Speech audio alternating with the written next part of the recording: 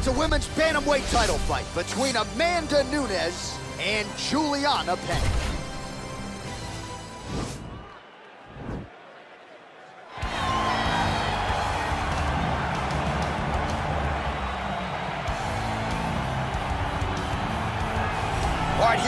One women's bantamweight contender. She believes for a while she's been the best at 135 pounds. She's making the walk tonight, staring down the champion. Confidence, not an issue. Fear, not a factor. We'll see if this talented number one contender can shed that label and leave with a new one as the UFC Women's Bantamweight Champion.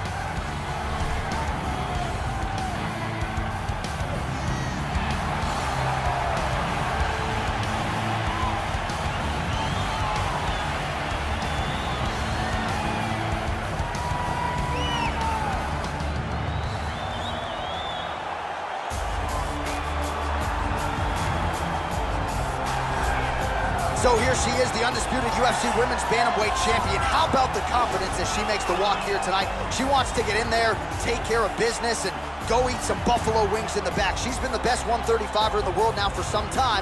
Another title defense, what's in front of her? She doesn't try to make the moment too big. And even though the challenger has a lot of momentum here tonight, she knows she's the hunted for a reason and is looking to prove that she is still the best in the world at 135.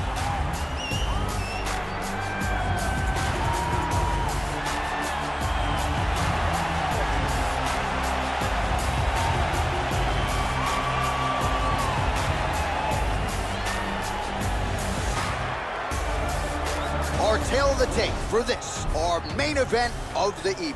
Peña is 30, Nunes is 32. The reach is identical. We send it inside the octagon to Bruce Buffer. Ladies and gentlemen, this is the main event of the evening. And when the action begins, our referee in charge of the octagon, Dan Miragliotta. And now, this is the moment you've all been waiting for. Live from the T-Mobile Arena in Las Vegas. It's time! Five rounds for the undisputed UFC Bantamweight Championship of the World. Introducing first, fighting out of the blue corner. This woman is a jiu-jitsu fighter holding a professional record of 11 wins, 4 losses. She stands 5 feet 6 inches tall, weighing in at 135 pounds. Fighting out of Chicago, Illinois. Presenting the challenger, Julianna, the Venezuelan Vixen Peña. And now, introducing the champion, fighting out of the red corner. This woman is a mixed martial artist holding a professional record of 21 wins, 4 losses. She stands 5 feet 8 inches tall, weighing in at 135 pounds.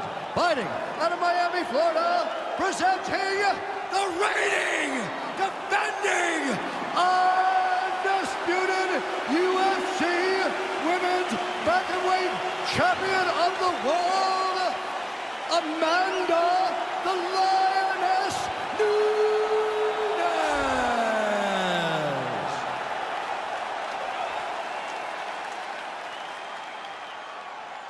All right, this is for the UFC Championship. I want you to obey my commands at all times, protect yourself at all times. I want a nice, clean, safe fight. Touch gloves, back your corners, come out fighting.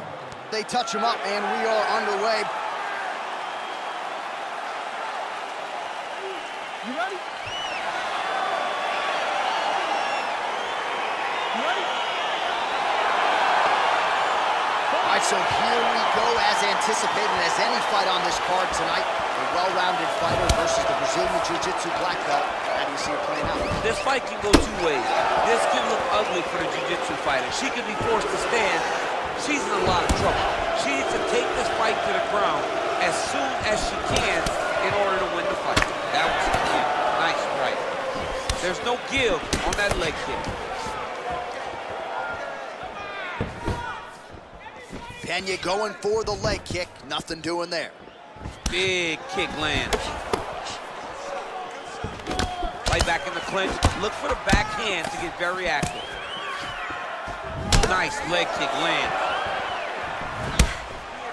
DC, for my money, she's really timing her shots pretty well here tonight. Her timing, accuracy, and also the activity level is great tonight.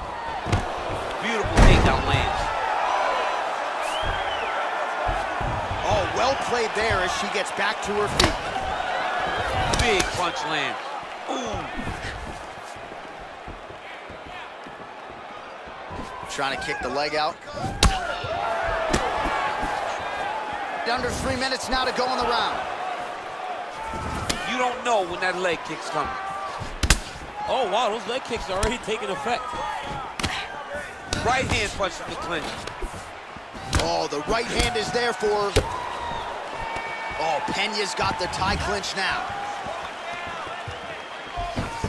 Oh, she's looking to set up that head kick. No good.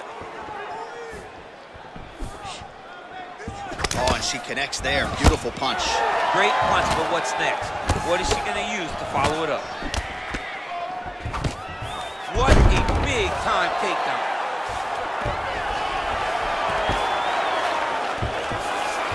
Oh, with conviction, she moves right into half guard. Without much effort, she was able to pass from her full guard right into half guard. Well, there are a few things more fun to watch in mixed martial arts than these type of transitions and scrambles on the ground. High-level grappling can really be entertaining.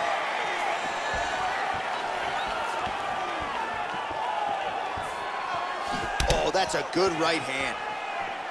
All right, so Amanda Nunes getting off here again as usual. Really as well-rounded a fighter as we have in the men's or the women's game here in 2020. Yeah, regardless of gender, right? Regardless of gender, Amanda Nunes stands among the best in pound for pound in the entire UFC. Oh, nice jab. Peña gets hit with a kick. That one appeared to land flush. If your opponent has you in the clinch, pulling down on your head, landing punch after punch, you have got to clear that collar tie, reach back inside, and try to find space. Try to establish that jab. Right, a lot of tremendous striking action in that last round, DC. I know you don't have the telestrator, but take us through the replay. I mean, I would love to have my telestrator right now.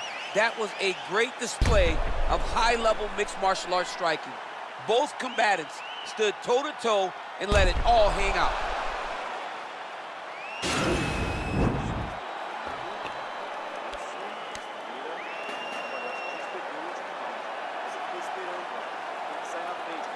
All right, DC, second round is getting underway. Round one, not the round of the year necessarily, but some good in there. And it's not always gonna be. When you have two very talented fighters, sometimes it's very even. That's what we saw in round number one.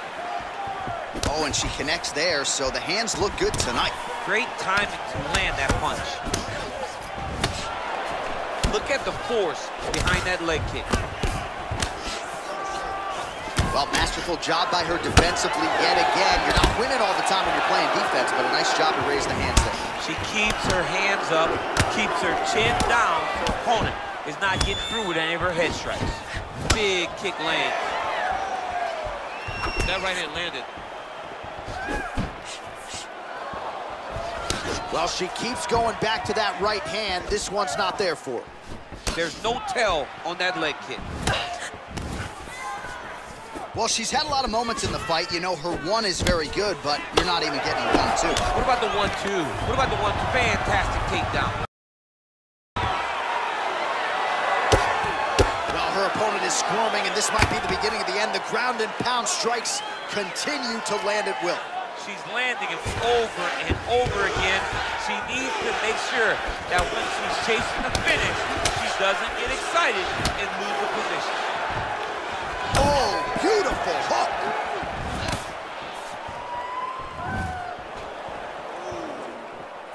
Effective punch there by Nunes. Some nice back and forth action here. Well, she was a little bit hesitant in round one, but she has certainly picked up the pace here in this second round. It took her a while to find her range. She's in a strong striking rhythm now. Level change, finish the takedown. Great job.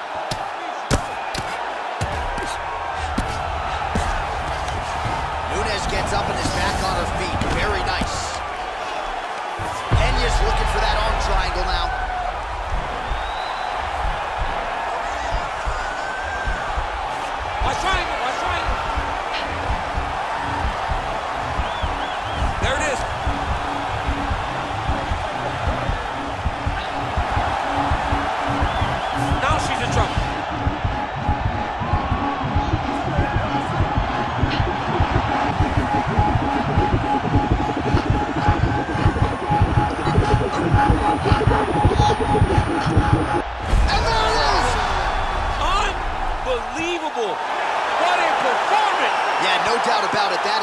opportunistic grappling right there, and nice finishing instincts as well. You see a lot of fighters get the dominant position, but aren't necessarily able to lock up the choke or force the tap. No problem with her as she gets one of the bigger wins of her UFC career. All right, so there's the end of the round, and in terms of offensive wrestling execution, she had it all going there. Yeah, she had it all working. She did everything she wanted to do. She was racing to position. Once she got to a leg, she didn't pause. She didn't stop. She went right to the finishes that she needed in order to get the fight to the ground. I mean, that was a great display of offensive wrestling. So there she is as the celebration continues in the corner. The queen of the 135ers, the UFC Women's Bantamweight Champion, your winner tonight by way of submission. What a way to get the job done and leave with the UFC gold. Ladies and gentlemen, referee Dan Miragliotta has called a stop to this contest at 4 minutes, 19 seconds of round number two. For the winner by submission, and new undisputed UFC bantamweight champion of the world, Julianna, the Venezuelan Vixen Peña. So the Venezuelan Vixen has done it again as she celebrates this UFC win with her corner. It appears as though she is finally regaining her form after that severe knee injury a few years back. When she is on, as she was here tonight, Julianna Peña is certainly a tough out for any other contender.